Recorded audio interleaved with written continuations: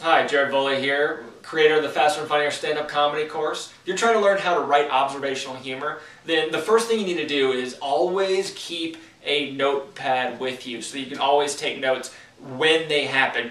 Don't think that you're going to remember a joke long after, you know, the, night after or even a week after uh, you're, you actually made the observation. You have to get it down right away. And there's a very specific reason for this, and that's because as the, the, further along, the further away from an observation you get, the more the brain generalizes that idea. And I could uh, prove it to you this way. Think about what did you do uh, last week today? So seven days ago. What did you do? Think about think about it, and you're going to come up with a very general answer of probably what you do on every day, uh, on every one of those kinds of days. However, if I was to ask you, what did you do yesterday, or what did I do, what did you do today?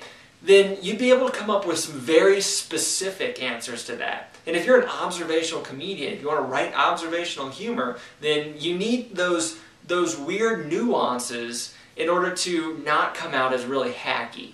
Because if you try to write your humor right in front of a computer, so you're trying to think of observational jokes in front of your computer, then the only thing you're going to be able to think of is you know hacky subjects, subjects that anybody can really think up uh, uh, you know, just sitting in front of their computer. So you have to be uh, walking around with a notepad that is ready to go whenever you actually have that, that weird idea that you want to pursue.